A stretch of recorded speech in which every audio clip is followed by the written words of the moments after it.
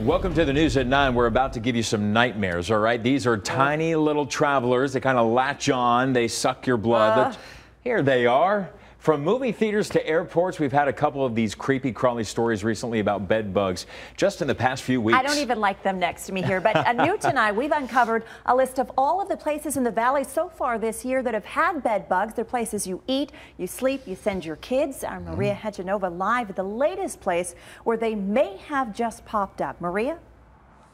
I'm live at Basha High School because the library had just been treated for Oh. bed bugs, even though the exterminator can't say for sure if those bugs were even here. But the county can say that the bugs were for sure at 17 different locations across the valley. What do you think about bed bugs? When I showed Joshua Buzzingham Maricopa County's bed bug list, disgusting, gross, nasty. he was disappointed by what he saw. I don't think I'll go there again. Even though you think they're gone, they could still be there. They're tiny, you know.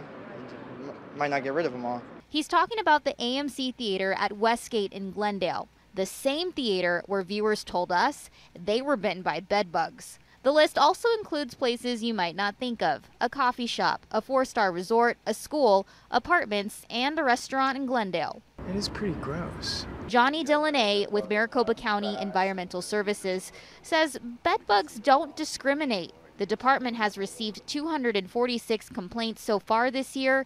81 of them are valid. They could be found about anywhere, and it doesn't matter how clean the place may or may not be. Uh, bed bugs could travel very easily, and they can hide very easily.